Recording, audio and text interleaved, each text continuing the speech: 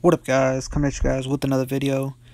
Here talk about King Ryan Garcia, saying that uh, he would have slept Devin Haney. Now, I don't want to hear anything from Ryan Garcia if I'm being honest with you guys. Um, I don't know if he's fully, you know, all the way there, um, mentally, physically. Uh, he did pull out of the fight against Fortuna, and uh, I mean, shit, it's kind of crazy though, cause he was supposed to fight Fortuna.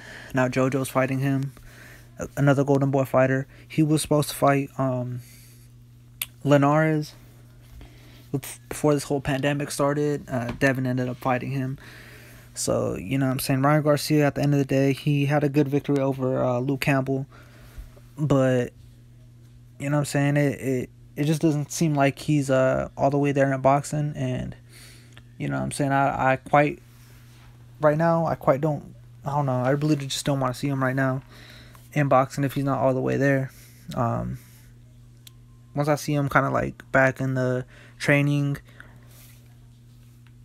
like sparring, and uh, you know Eddie, maybe if Eddie uh, says you know he's all the way he's good, he can fight now, um, then I'll be interested. But as of right now, I really don't want to see anything uh, Ryan Garcia related. If I'm being honest with you guys now, Devin Haney he overcame adversity and I made a video on my channel. If you haven't already, go ahead and uh, check that one out.